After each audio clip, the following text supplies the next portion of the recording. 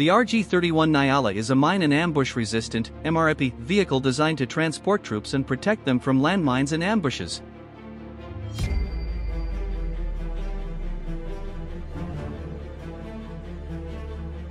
Some of the latest upgrade plans for the RG-31 Nyala in the coming year include RG-31 Nyala which will increase protection against landmines and IEDs. The kit will include a new, stronger hull and slat armor system.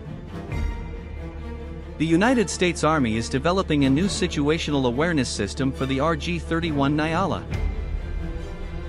The system will include cameras and sensors that will give the driver and crew a 360-degree view of the vehicle's surroundings.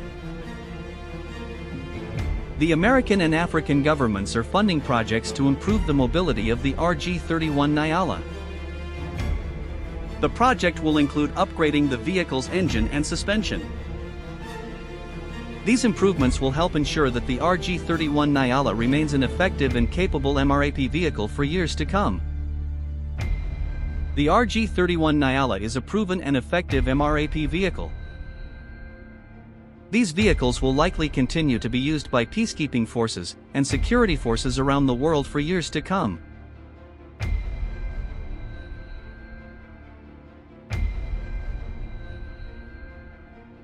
Here are some countries that are planning to upgrade the RG-31 Nyala.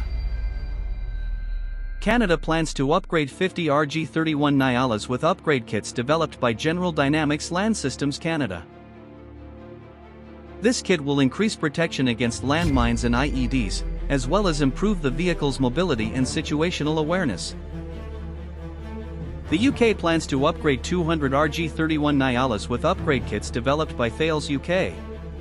This kit will increase protection against landmines and IEDs, as well as improve the vehicle's mobility and situational awareness. Impact of RG-31 upgrades on The RG-31 Nyala upgrade will have several impacts, including These improvements will help protect troops from landmines, IEDs, and RPGs. Improved mobility and situational awareness will help troops to operate more effectively on the battlefield. This increase will increase procurement and maintenance costs for the RG-31 Nyala.